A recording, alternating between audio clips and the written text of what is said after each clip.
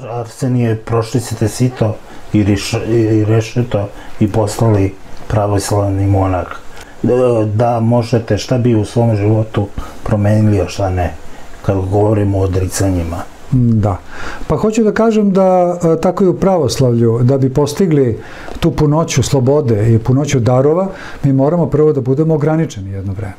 Kao što je onaj ne znam, čuveni violinista ili čuveni sportista bio ograničen. Nije mogao da ide na sve zabave, na sve diskoteke, da ide na sva putovanja ili su njegovi vršnjaci odlazili. On je sedeo i vežbao Da bi jednoga dana postao čuveni pijanista, čuveni umetnik, čuveni sportista.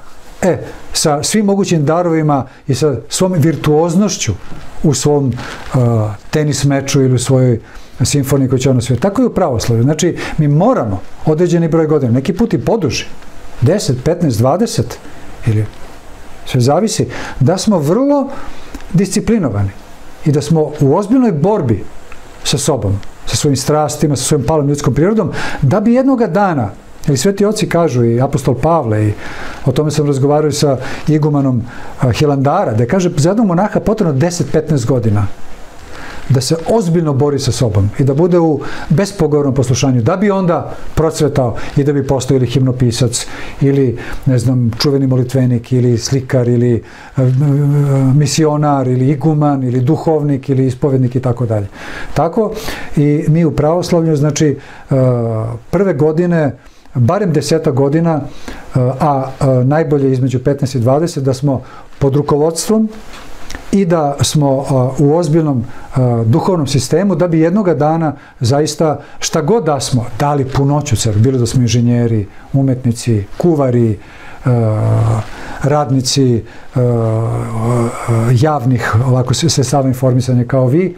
E, zato je jako važno da smo istrajni i da ne odustajemo lako. Da imamo tu viziju da je gospod punoća svih darova, ali da, do, da se dotle mora doći Znate, kroz, tako da, što se tiče mog života, šta bi ja promenio, pa iskreno, brate Milana, ako me pitaš, možda ništa ne bi menjao. Mislim da je sve bilo po Božem promislu i kao što reče moja majka, ja kažem, majko, oprosti ako sam te u životu mučio i ako sam bio loš. Ma kaže, sine, super si ti bio svemu. Jeste da sve to bilo ludilo, ali tako je trebalo biti.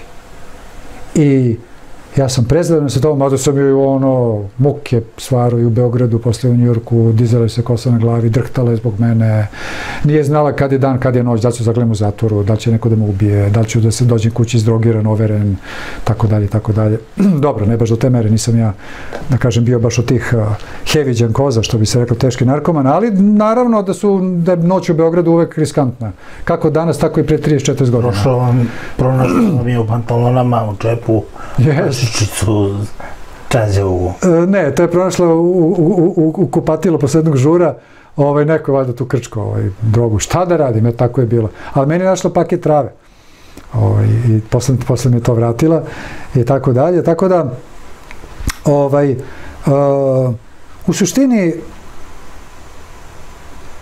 onako, realno gledano, Možda je bilo dobro da ništa toga nisam radio, nego da sam sedno 16-17 godina otišao u manastir. Ali možda ništa od ovoga ne bi bilo sada.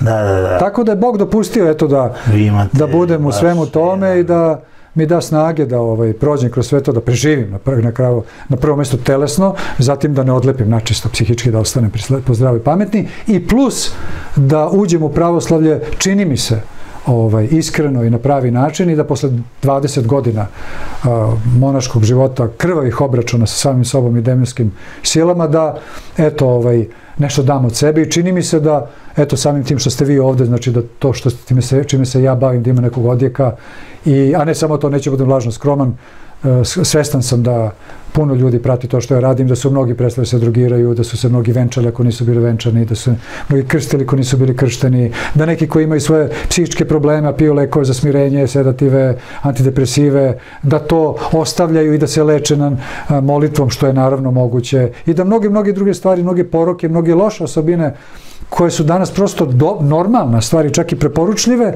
u stvari e, ljudi shvataju da je to pogrešno i da se zapravo ovaj, preko, preko, preko tih nekih mojih reči, a zapravo ja u suštini jedina moja ne, tako da kažem, možda neki kvalitet koji posjedujem to, da sve to što crkva odavno nosi svojim nedrima i što su nama sveti oci preneli, da ja to samo imam taj možda dar da to mogu da prevedem na savremeni jezik. Da. I da ja današnjem čoveku to mogu da prezentujem nekako što uh, pitkije i bliskije. Inače ja ništa novo tu nisam izmislio.